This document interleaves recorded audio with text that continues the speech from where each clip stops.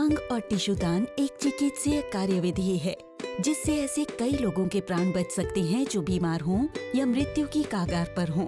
कोई व्यक्ति यह सहमति दे सकता है कि उनका देहांत होने पर उनके दिल, फेफड़े, लिवर यानी यकृत, गुर्दे, आंत और अग्नाशय को दान कर दिया जाए एक अंगदाता अधिकतम सात जिंदगियाँ बचा सकता है और आँख और टिश्यू दान के माध्यम से कई अन्य लोगों की मदद कर सकता है।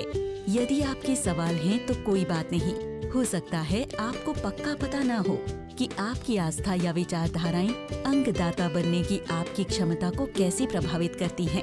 अधिकांश धर्म अंग और टिश्यू दान का समर्थन एक ऐसी परोपकारी और सद्भावनापूर्ण कृत्य के तौर पर करते हैं, जिससे लोगों को लाभ मिलता है। यदि आप मार्गदर्शन खोज रहे हैं तो आप अपने धार्मिक या आध्यात्मिक सलाहकार से बात कर सकते हैं। अंगदाता बनने हेतु रजिस्टर करने और जीवन का उपहार देने के लिए कुछ सामान्य चरण हैं जिनका अनुपालन करना चाहिए। अंगदाता रजिस्टर पर साइन अप करें और अपने फैसले के बारे में अपने परिवार से बात करें, ताकि उन्हें पता हो कि समय आने पर क्या करना है।